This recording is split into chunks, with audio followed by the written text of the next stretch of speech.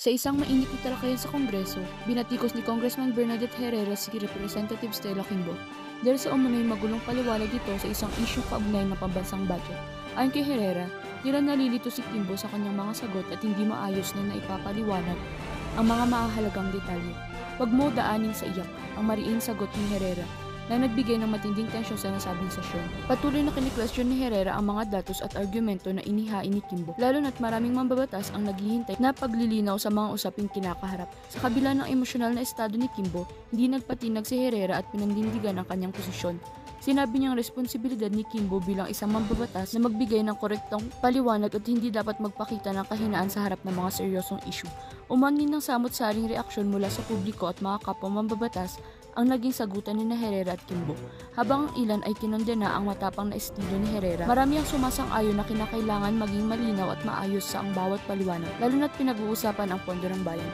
Sa mga susunod na araw, inaasahan ang karagdagang pagsisiyasat at paliwanag mula kay Kimbo upang matugunan ang mga tanong na bumabalot sa issue.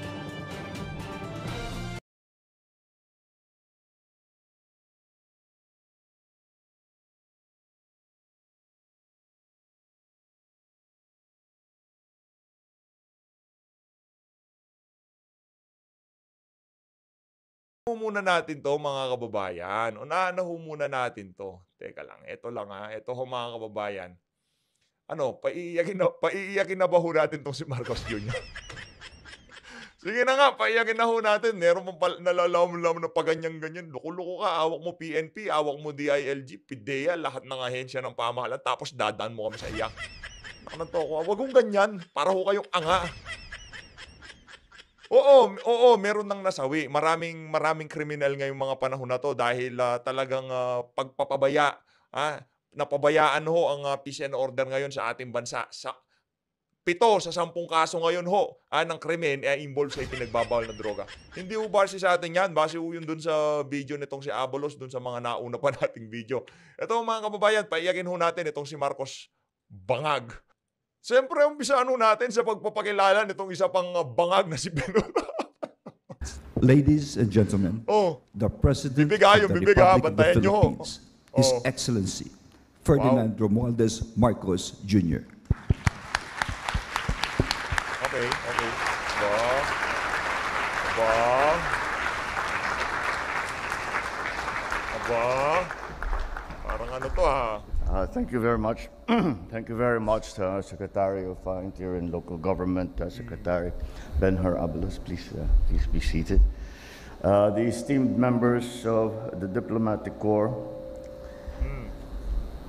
the International Justice Mission, or or IGM Chief Program Officer, Mr. Blair Burns, the IJ, IJM Vice President, Attorney Samson Inocencio, the officials and the members of IJM, my fellow workers in government, distinguished guests, ladies and gentlemen, good afternoon. Oh, Um, as I was listening to the young lady, and she is a lady, uh,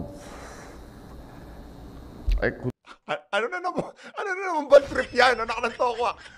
Uy, nakakaiyak na. Kung nakakaiyak, mag-speech ka. Kung mag-speech ka, iiyak ka kung iiyak ka. Ah. Ayos-ayusin mo, sir, buhay mo, ha? Kung iba yung trip mo, wag ka munang umakyat sa stage. Ngayon, drama naman ngayon. Pagkatapos ng party-party, trip mo naman, drama. Tuloy. could not help but shed a Oh. tear to think, to try, to have to relive the suffering that she went through, and to think how many other children are even as we here sit in this fancy hotel room. Anong trip yan, Brad? Anong trip yan? Ano lang to? Ibang klase ka, sir. Ha? Ganyan daw sila. Pagka ano, pagka minsan trip nila masaya, minsan trip nila umiiyak, minsan trip nila puro party, minsan trip naman ho nila jombagan. Siguro ngayon trip ho nila umiyak. eating our fancy food, continuing to suffer the same fate as she has. So ano plano mo? Presidente ka, sir. Ha, kontrolado mo, nasa palad mo lahat ng ah, kapangyarihan sa Pilipinas. So anong plano mo? Mag-iiyak ka na lang dyan sa mga speech mo. La- tatlong taon ka pa sir mag-iiyak pagka nagkataon. Okay lang naman eh. Ikaw presidente, ano ba magagawa namin? Di ba?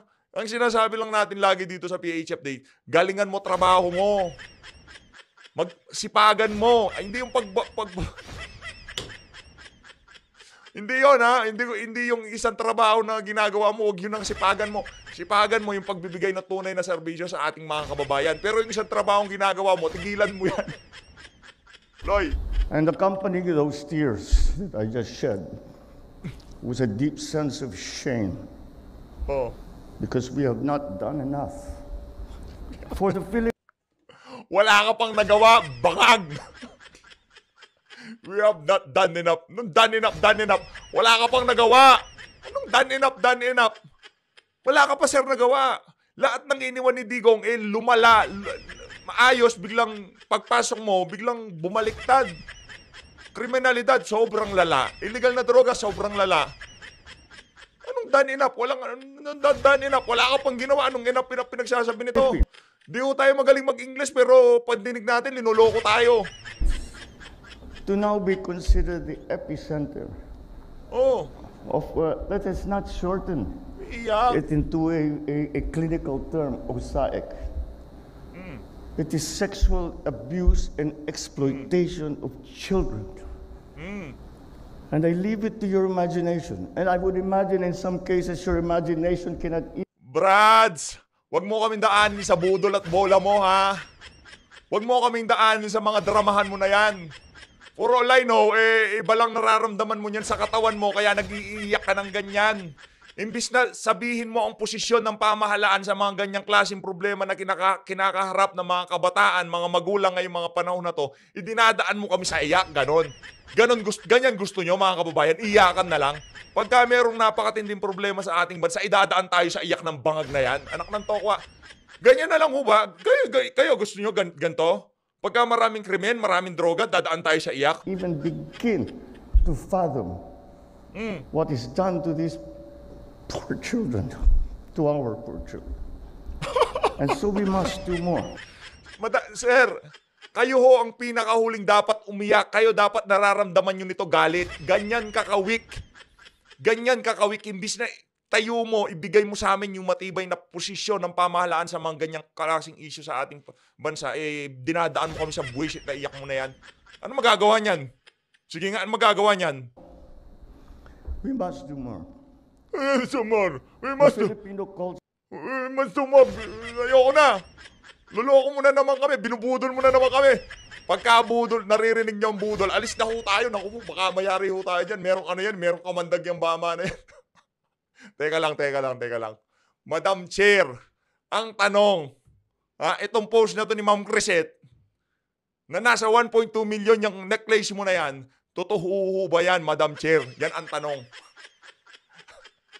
Wala, pinasadahan lang natin. Siyempre, kilala nyo naman yung si ano, ah, Madam, ano, Madam Crisette.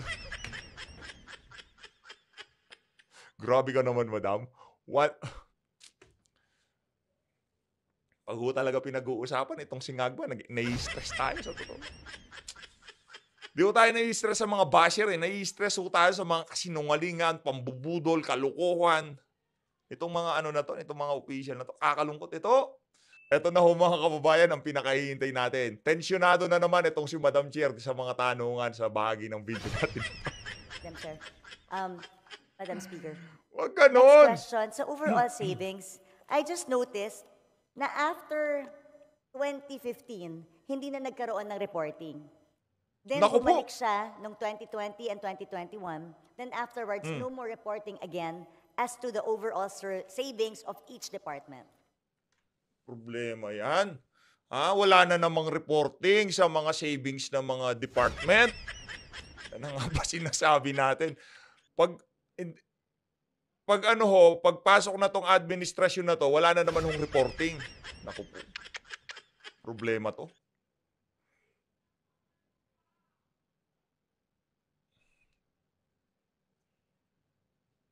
Yan na nga ba sinasabi natin eh. Madam Yan na Speaker, nga ho ba? Tagal naman itong si ask Madam for- Chair. A one-minute suspension. Session suspended. Tuloy ho. Please proceed.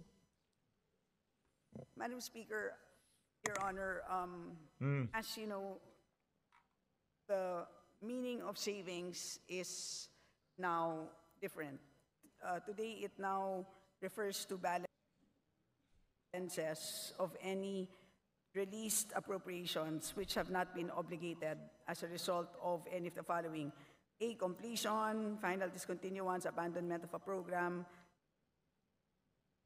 or, or B, implementation of measures resulting in improved systems and efficiencies, etc. Um, so today, in other Oh. words, hindi na siya kinocompute for all. Naku po. Yun na ngayon ang practice ng DBM. Um, so if there is a number that you have in mind, um, for example, do you wish to know unutilized appropriations for the entire government? Is that what you wish to know? Madam Speaker, parang di naman po nagbabago yung definition ng overall savings. Yung savings naman talaga is as you said, yun ang definition ng savings natin. Yan na nga, yun na nga ho po problema dito sa administrasyon na to. Ang dami ho nilang ah, mga bagay na ginagawa na, na nawala sa hulog. Ngayon, pagka nabibisto ho sila, kagaya nitong ginagawang pagdepensa nitong si ah, Estela Kimbo, eh, kitang-kita ho yung pagiging tensyonado tuloy. Um, at kaya nire-reflect yun kasi ito yung mga hindi nagagamit, like you said. Correct. And then nire-report kasi yun eh, and it's being transferred to other agencies. Ang sa akin, I'm looking for a pretorial. They have to report it to us, just like before. Correct. For example, ang overall savings natin in 2020, I-like nyo ho tong video na to kung hindi maganda tong si Madam. Di ba mas maganda siya kaysa kay Kimbo? Si PH Update, di naman nata talaga nagre-react yun eh. Tumitingin lang ng maganda siya. Hindi, ah, cute lang si Madam, cute lang. Go. Is 3.5 billion. That's why it's also significant eh. And then for all those savings, nakalagay dyan kung saan tinransfer sa bawat agency. Sino may kilala kay Bernadette? Sa Big Bang. Kamukha ko niya si Pag sinabi mo kasing savings, transfers from. From each agency, nata-transfer ang savings ng bawat isang ahensya, pupunta ngayon sa overall savings. And then yung overall savings, it's a transfer to.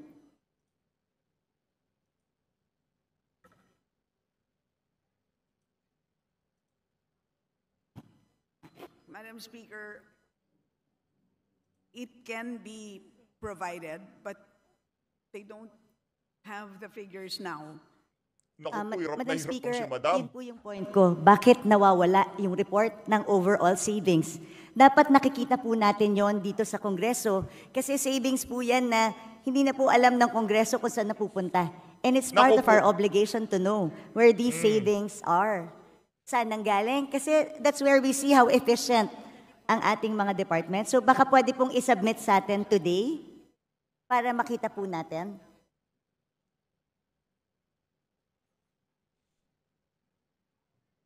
Ang pagkakaiba, Madam Speaker, today is that the agencies themselves use th- their own savings. So, they can modify on their own. So, hindi katulad dati na nililipat sa ibang ahensya. And does this So, mean hindi siya nire-report sa No, pero, yes, so, but as a result of that change in practice, kaya nagkaroon din sila ng ibang pagre-report, but tama po yung ah, observation ninyo, and I think that is a very important point. Hindi naman dahil nag-iba ng practice ay nawalan na sila ng responsibilidad na mag-report. So, because of that, they will submit the report on savings.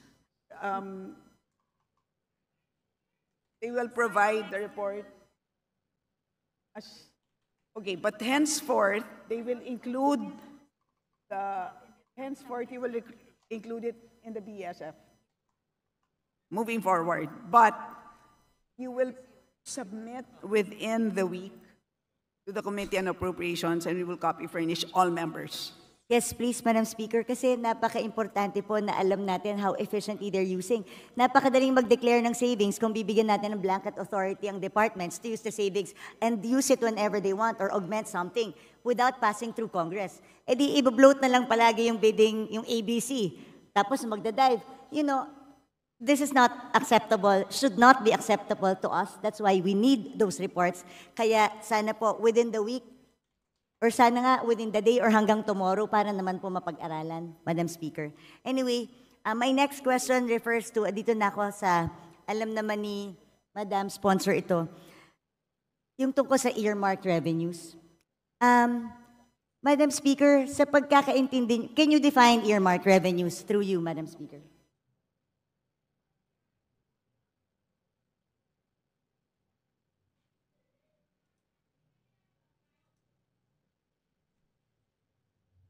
Tagal ah. Di-define lang naman. Earmarked revenues, Madam Speaker, are identified revenues required by law to be used for designated activities, benefits, or purposes which can be either classified as use of income or special account in the general fund or SAGF. Nung pong nag-interpolate tayo, sinabi po sa akin that the cash isn't available because the cash is being used. Madam Speaker, Madam Sponsor, tama po ba na pwedeng gamitin ang earmark revenues ng national government wherever it pleases? Yun ang practice po ng ah, natin. But let me explain. Madam Speaker, yung tanong ko po, hindi kung practice siya or hindi. Tama po ba na ginagamit natin ang earmarked revenues for other things other than specified in the law? Tama. Naku, kala ko bang, teka lang aking buwan, nalilito na ako. Kala ko bang ekonomista ka, teacher ka, magaling ka? Ba't hirap na hirap ka sumagot dito kay congressman, ano? Madam Speaker, if I may be allowed, Yes. parang po siyang, if I may use a comparison, parang pong kung tayo po ay nagde-deposito sa isang bangko, nagdeposito tayo ng isang daang piso, iniwan natin sa bangko yung ating 100 pesos. Habang hindi natin kailangan yung 100 pesos na yan, ini-invest ng bangko yung 100 pesos na yan. But at any point in time that we demand 100 pesos plus the interest, dapat ibibigay sa atin ng bangko yung pera natin. At any point in time that we want it, it must be available. So ganun po ang konsepto ng earmarked revenues. Madam- Congress earmarks a certain portion, kinokolekta ng ahensya ang revenue, dinedeposito sa treasurer, habang hindi ginagamit ang cash, gagamitin muna ang cash sa pagpapatakbo ng buong government kasi po ang pangongolekta ng buwis hindi naman po January 1. Meron na tayong buwis. Paano natin babayaran ang sweldo ng ating mga page, ang sweldo ng mga government employees? Wala po tayong ibabayad sa inyo na sweldo kung hindi natin gagamitin ang cash na yan.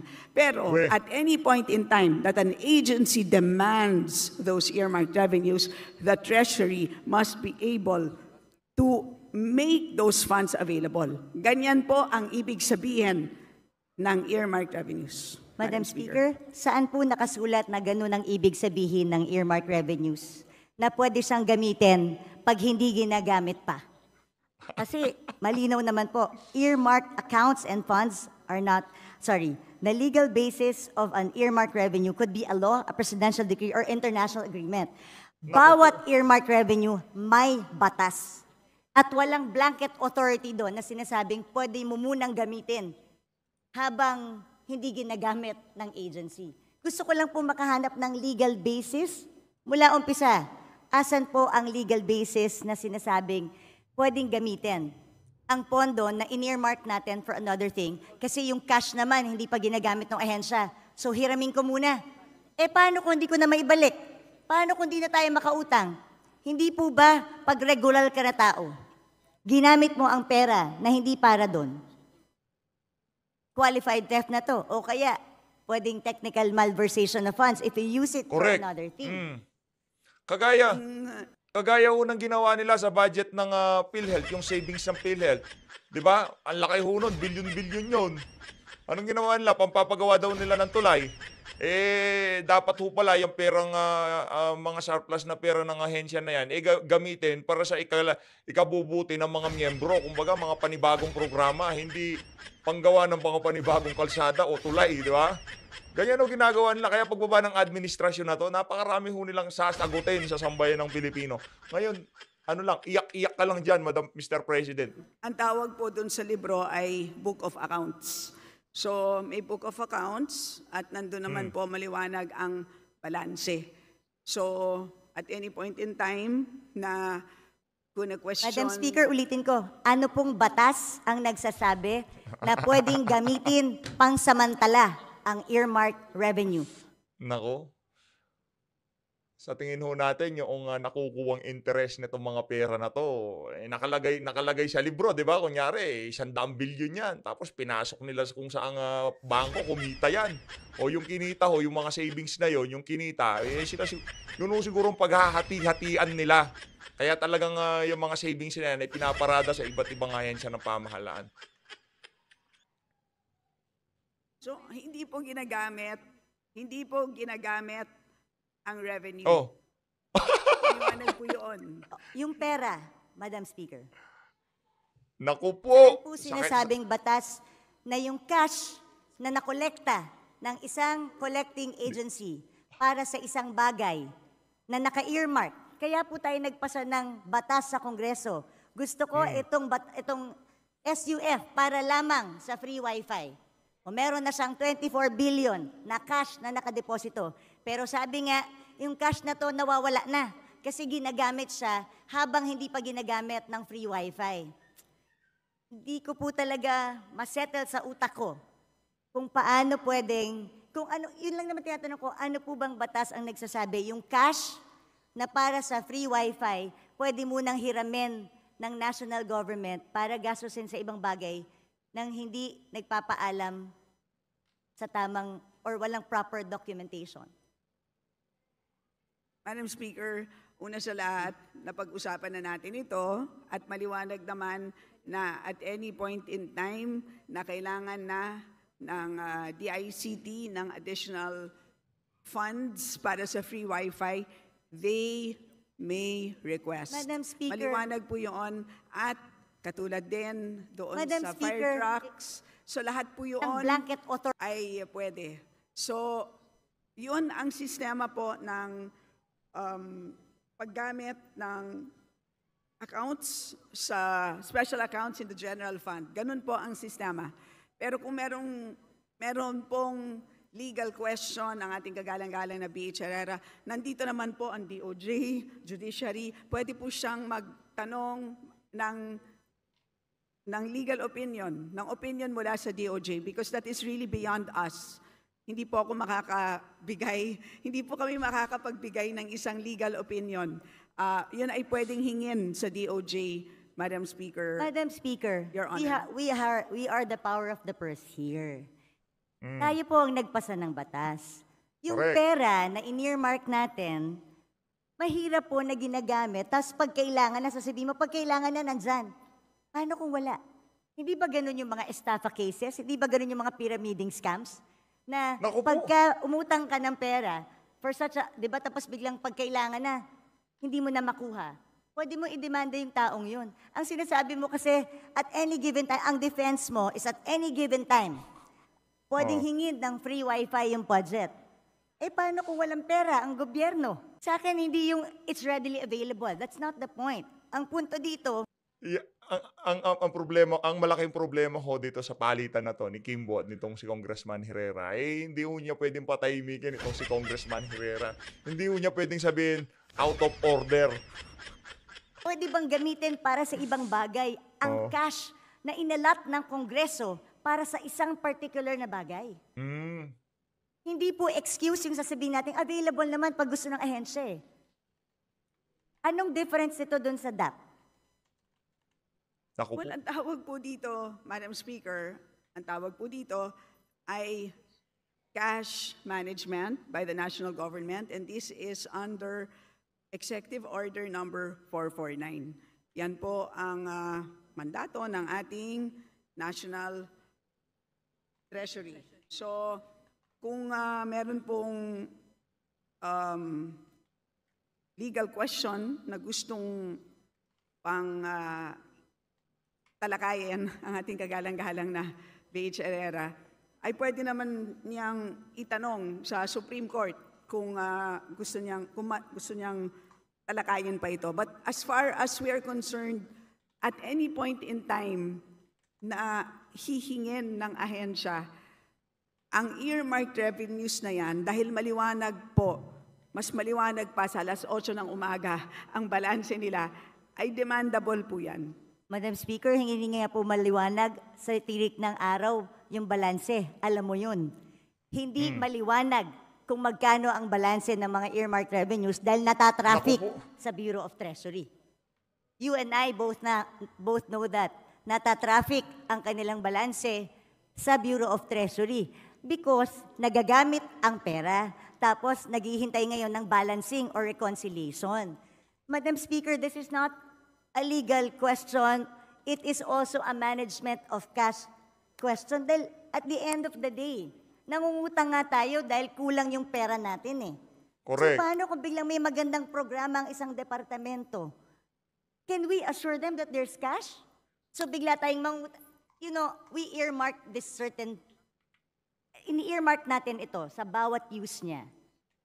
Kasi gusto nating i-make sure that the money is there at lagi siyang pwedeng gamitin. Tandaan natin, if yung humihiram ng pera ang may control kung anong ibibigay niya, then magdadamot ako ngayon sa pagbibigay kasi ginagamit ko eh. So they have the Mm. control eh.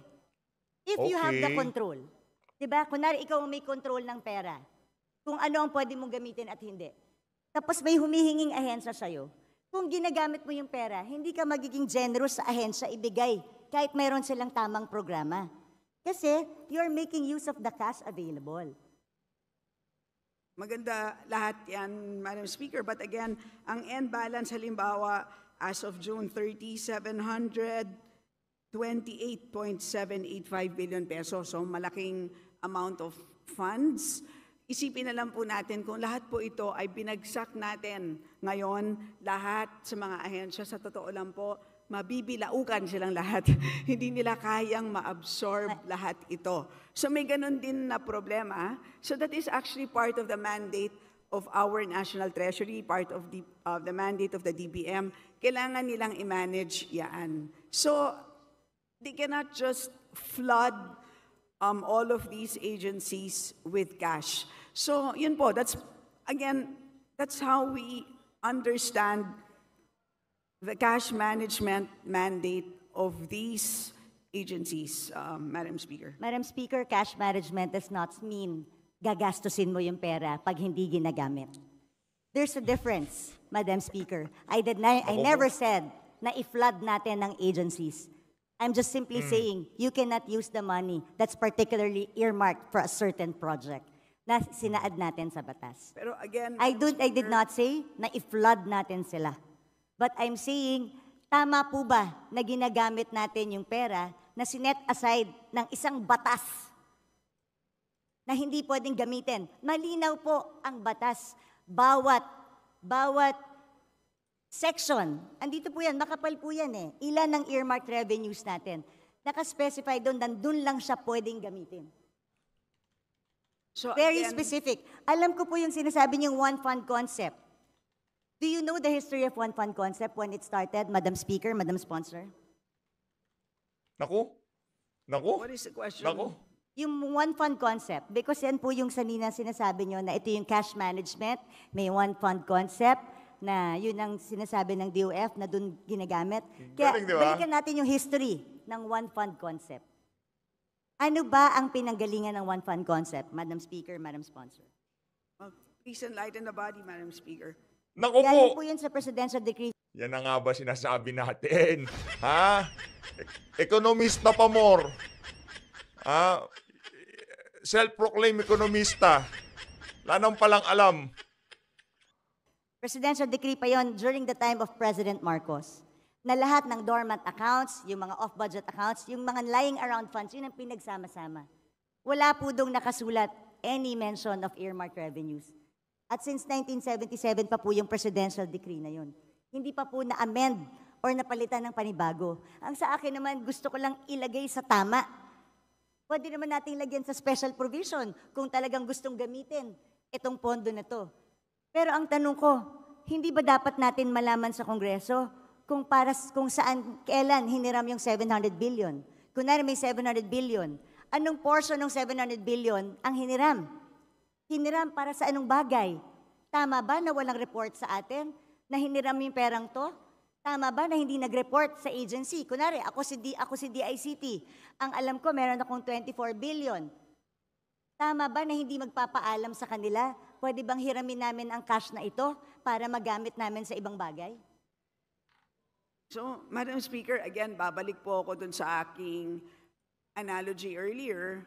Ang bangko niyo po ba, tuwing ini-invest yung isang daang piso na dineposito ninyo, ay tinatawagan ba kayo para Ay, magpaalam Madam ng Speaker, interest? kung ako po ay nag, hindi nag-authorize, pwede ko pong sabihin sa bangko, huwag niyong galawin itong certain portion na to. Because tandaan niyo, hindi mo pwedeng i-relate sa bangko to. Batas ito. Correct. May Correct. blanket kang pinirmahan sa bangko. Nung nagdeposito ka, alam mo na pwede niyong gamitin para invest. That's part of the contract you paid for when you opened the account. Pero ito, batas ito na pinasa natin na earmark ang certain fund for a certain thing. Wala tayong authority na binigay doon sa ating batas o habang may cash, habang hindi ginagamit, pwede niyong gamitin, national government, kung saan niyo gusto. Pag kinapos tayo, gamitin niyo na. O basta siguraduhin niyo, pagkakailangan ko na, ibalik niyo sa akin. But again, Madam Speaker, what is important is the balance. Paglilinaw lang po kung ano ang balanse ng bawat fund ay intact na intact po yan. Ah, napakahuhusay po ng ating mga empleyado sa ating treasury. Complete po yan. So lahat po ng mga dinadagdag po dyan, lahat ng binabawas, intact po ang balances. Um, nagkaka issue lang po because we have a ceiling at every point in time. Today, ang hinaharap natin na ceiling is 6.352 trillion pesos. Can you imagine kung pinasok po natin itong 728 billion, mauubos yung 6.3 ng 728 billion ng in-earmark ng Kongreso. So paano po yung mga programa na gustong ipatupad ng ating national government? Yun ang mangyayari dito. How will our national government function kung lahat po ng ating earmarked revenues ay pinasok natin lahat doon sa ating total budget ceiling. So yun po ang napakahirap na trabaho ng ah, ating DBM or DBCC. So yun ang naging, um, ang ganda nga ng konsepto, di ba, ng cash management. So that's what it is. So in other words, when you deposit money sa bangko, yung the exact 100 pesos, serial number 0001, hindi naman yun yung the exact bill na isasoli sa'yo once you make a withdrawal. ba? Ang usapan lang natin ay nagde-deposit ako ng 100, at any point in time, you are entitled to 100 pesos, any serial amount, any serial number, plus interest. 'Di ba? Yun naman po ang binabantayan natin. Madam It's the Speaker. same concept that we are using for cash management under the National Treasury, Madam Speaker. Madam And to Speaker, remind so you, with the same, Honorable Herrera, that you have three min- more Madam minutes. Speaker, with the same concept, paano yung mga nagsarang bangko? Dahil ginamit nila yung pera eh. Nag-overuse sila ng pera ng diniposito ko eh. So nung nag-withdraw ko, hindi na mabalik sa akin. Dahil nagsarado yung bangko eh. Like I said, Madam Speaker, again, I believe in the one fund concept, pero mag-amenda tayo ng batas. Isaayos natin. Ano ba sinasabi ko dito? Ever since all budget hearings, sayang ang mga pondo sa earmark revenues, sayang ang mga pondo sa off-budget, sayang ang mga dormant accounts. Ilagay natin sa one fund concept, I agree. Pero let's pass a law. Let's amend the PD. Let's amend the presidential decree or magpasa tayo ng batas dito sa Kongreso if we really want to allow that. Yun lang po yung aking palaging sinasabi kasi right now, and mag-report sila sa atin sa Kongreso kung saan nila ginamit at kailan na hiniram yung pera.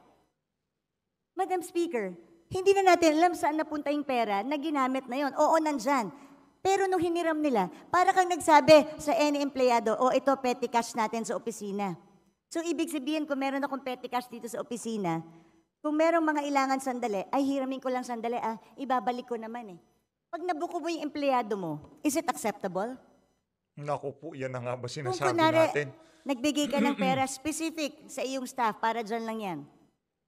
Tapos siniram ng staff mo, hiramin ko lang naman eh, ibabalik ko rin ha. Is that okay? Does it make it okay?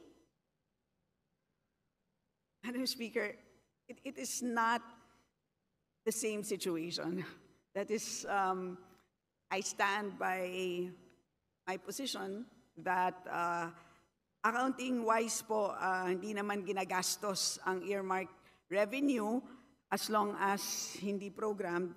Uh, intact po ang balances ng uh, ating earmark revenues. Uh, cash-wise, ay fungible naman po siya. So, yun po ang ah, sistema ng cash management. Kung may problema po ang ating kagalang-galang na BH Herrera, again, ah, of course, she's free to file a resolution, file an inquiry, file um, or solicit an, um, an opinion from the DOJ. So, Madam Speaker, paano nga pag hindi na ibalik? Paano kung walang pera yung gobyerno? What happens now? Because ginamit natin for other things, pinambayad natin ng utang. Naglalago yung utak nitong si Kimbo eh. oh. Is that your last question, uh, the Honorable Herrera? Well, I would like to put this on record dahil meron One pa more naman pong minute. second round.